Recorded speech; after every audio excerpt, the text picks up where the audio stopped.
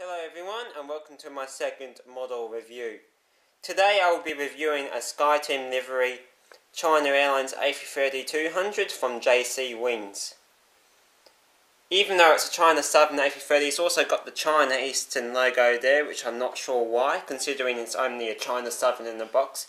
Yes, both airlines are from China and are part of the SkyTeam, but it's interesting how China Eastern is on the box as well.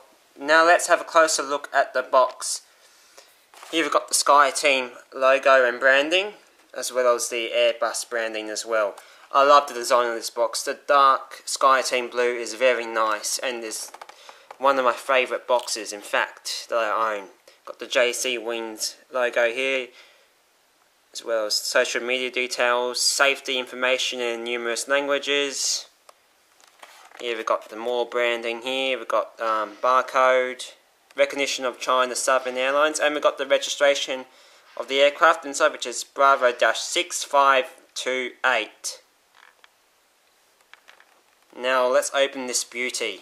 You may be wondering why I've got a paper towel here. That's because I've had this model for quite a while and it's a bit dusty now.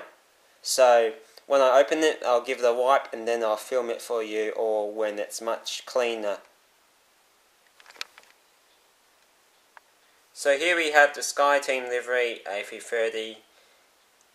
I've moved to a different location as you may have noticed because it's now here is the open SkyTeam livery A330-200. I've moved to a different location as you probably would have noticed because this is much better for filming and I like the reflection that it casts as well.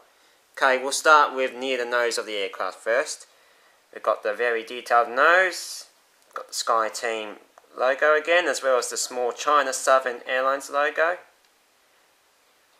Moving on, we've got our Pratt & Whitney engines, we've got our wing with Mandarin writing as well on the wing.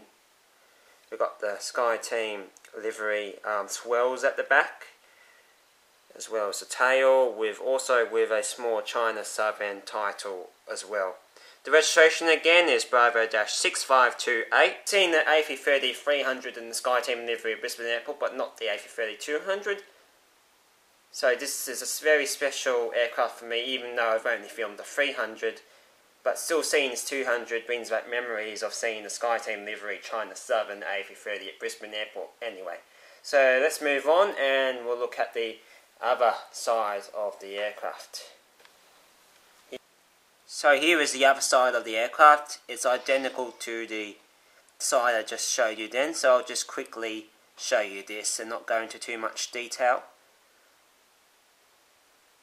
The only main difference about this side is that it's got the registration in English and not in Mandarin.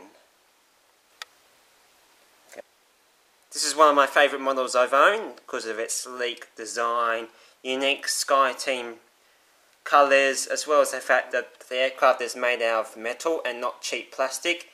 So it has a very realistic and slightly heavy feel to it.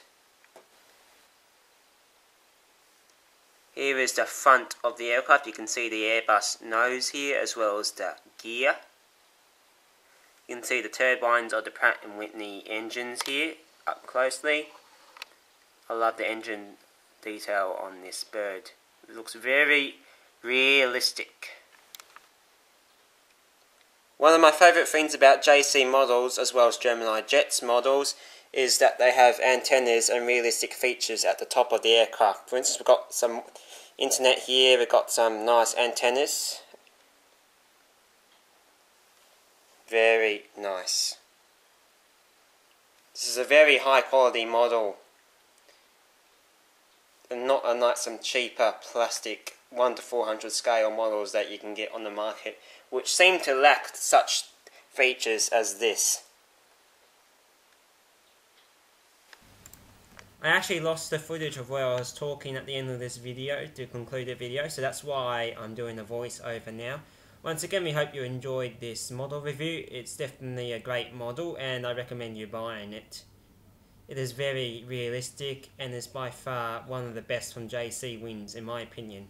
Once again, thank you for watching and make sure to leave a like, make sure to subscribe and drop a comment if you enjoyed or if you have any questions and I'll see you in the next video.